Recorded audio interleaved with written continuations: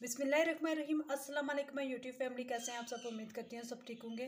आज हम बनाने जा रहे हैं कीमे वाले पराठे। उसके लिए मैंने लिए दो कप आटे के। इसमें मैं ऐड करूँगी थोड़ी सी अजवैन।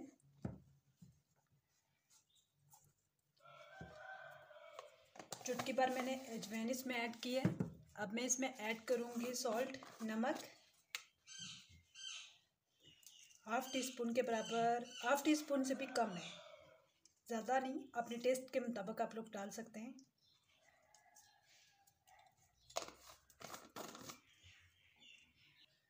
आप इन सारी चीज़ों को अच्छी तरह से मिक्स करेंगे।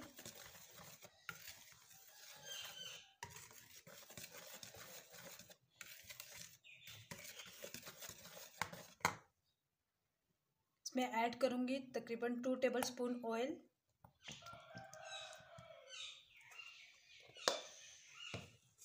इसे अच्छी तरह से मिक्स करूँगी।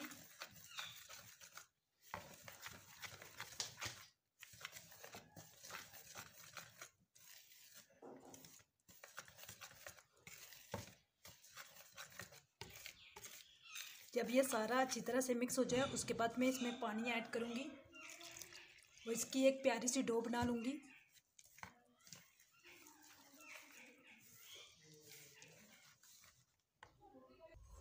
मैं हाथों के साथ इसकी डो बनाऊँगी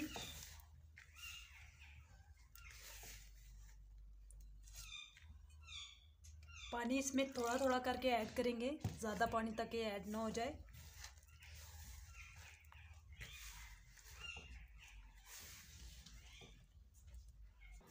अभी चेक करें, मैंने इस तरह की डो बना ली है। अब मैं इसे थोड़ा सा ऑयल लगाऊँगी और थोड़ी देर तकरीबन दस से पंद्रह मिनट रेस्ट के लिए रख दूँगी।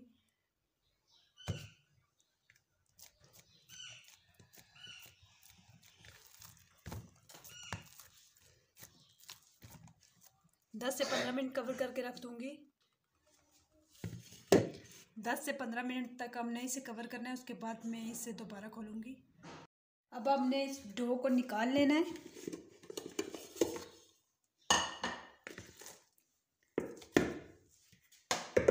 निकाल के थोड़ा थोड़ा इस तरह से दोबारा से मसलेंगे।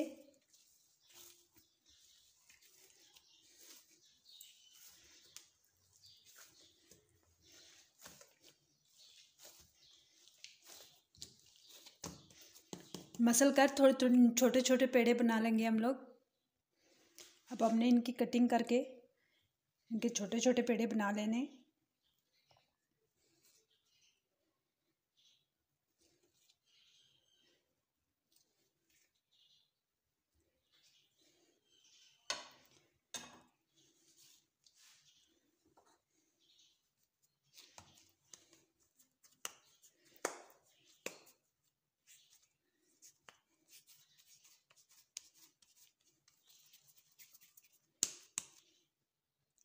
ये हमने छः पेड़े बना लिए हैं। अब इनको बेलना स्टार्ट करते हैं। मैदे के साथ डस्ट करेंगे। उसके बाद एक पेड़ा उठाएँगे। इसको भी मैदे के साथ फुल डस्ट करके उसके बाद इसे बेलना स्टार्ट करेंगे।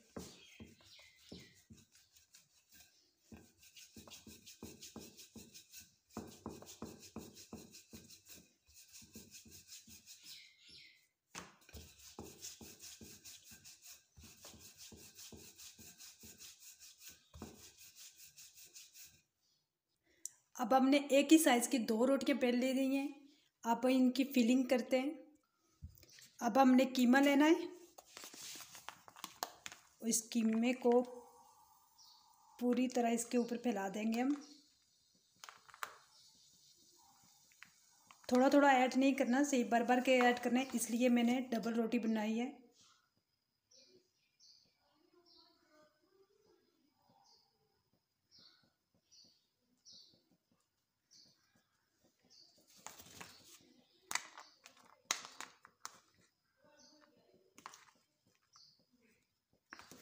अच्छे तरीके से इसको फैलाकर। अगर आपको मेरी वीडियो पसंद आती है प्लीज़ लाइक करें शेयर करें सब्सक्राइब करें बेल आइकन को प्रेस करें।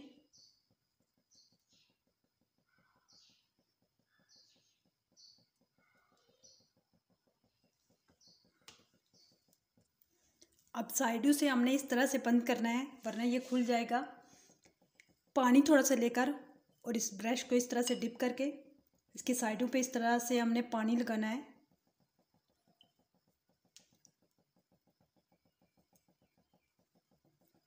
अगर आप चाहें इसमें चीज़ भी ऐड कर सकते हैं।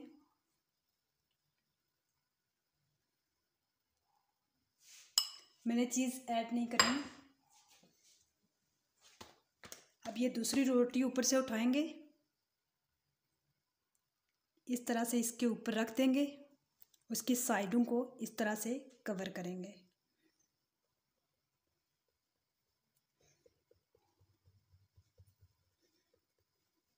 पहले इस तरह से बंद करना है, इसके बाद आप चाहे कोई सा भी डिज़ाइन बना लें।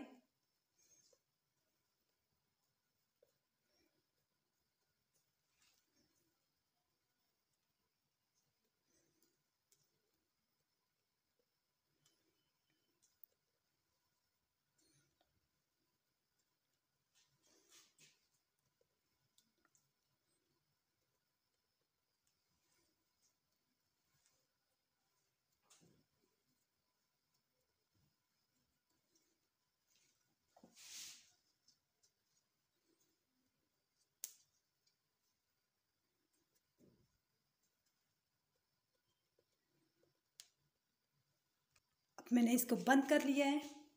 मैंने तवे को फ्री हीट होने के लिए रख दिया है। ये अच्छी तरह से गर्म हो जाए, उसके बाद इसके ऊपर हम अब हमने इस तरह से उठाना है और इस तरह से इसे तवे पे।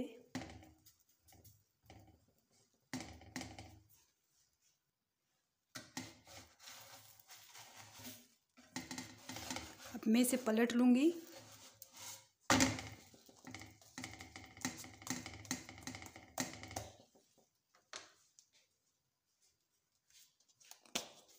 इसके ऊपर मैं ऑयल लगाऊँगी।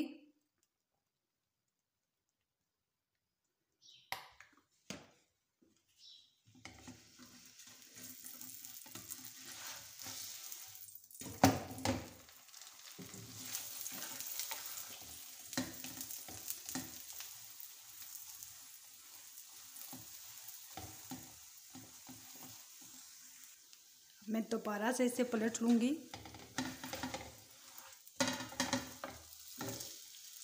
फ्लेम ने फ्लेम को आपने मीडियम रखना है, ज़्यादा तेज़ नहीं रखना, वरना ये जल जाएगा। मैंने फ्लेम को इसलिए कम रखा है ताकि ये आराम आराम से सारा पक जाए अच्छी तरह से।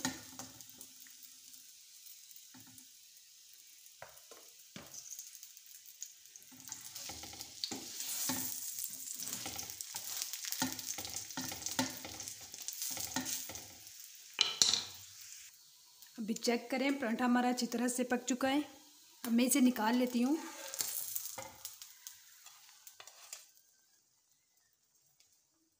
अब नेक्स्ट हमने एक और पेड़ा लेना है।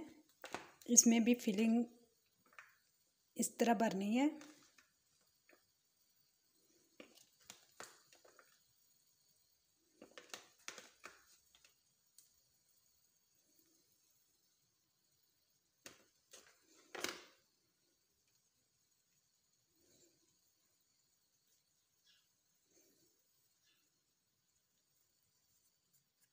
इस तरह से करके हमने इसे फुल जोड़ लेना है।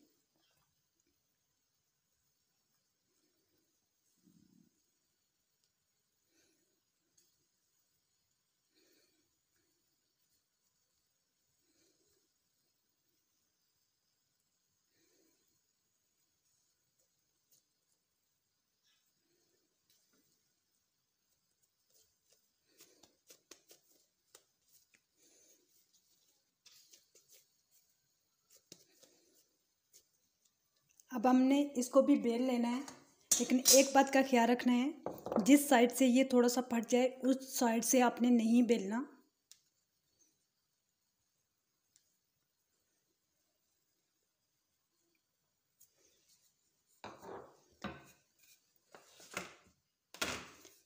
हल्का हल्का सा इस तरह से डैप डैप करके,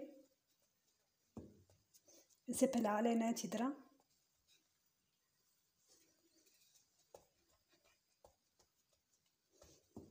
ताकि कीमा इसके अंदर अच्छी तरह से एडजस्ट हो जाए। आराम आराम से आपने बेलना है। ज़्यादा दबा के नहीं बेलना, बस हल्के हाथों से बेलना है।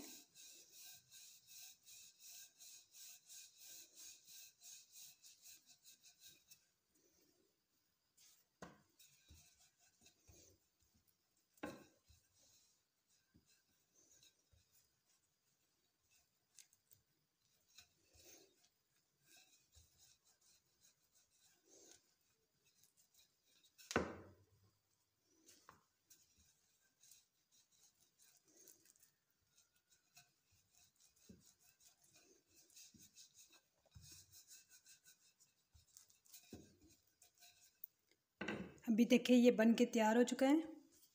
अब हमने इसे तवे पे फैलाना है। तवे पे हमने ये फैला दिया इसे।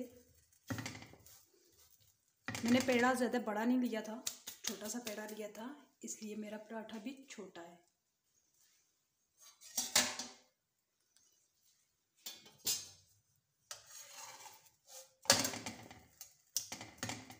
पलट लेना है स्पैचुलर की हेल्प से। अगर आपने आपने इसमें फिलिंग ज़्यादा ऐड करनी है तो फिर जो पहले मैंने बनाया है, उस तरह से बनाना है। अगर कम फिलिंग ऐड करनी है तो फिर इस तरह से आपने बनाना है।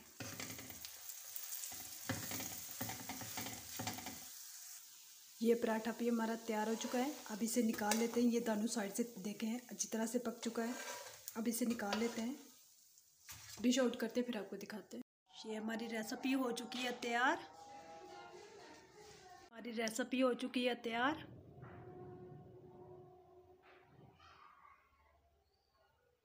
अब इसकी कटिंग करते हैं। फिर आपको दिखाते हैं।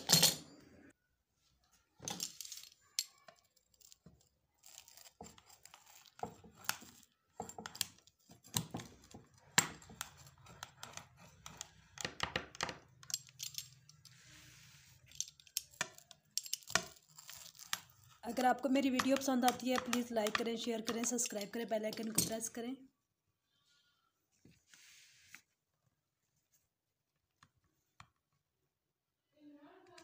अभी देखें, ये फुल तैयार हो चुका है। इसकी फिलिंग देखें।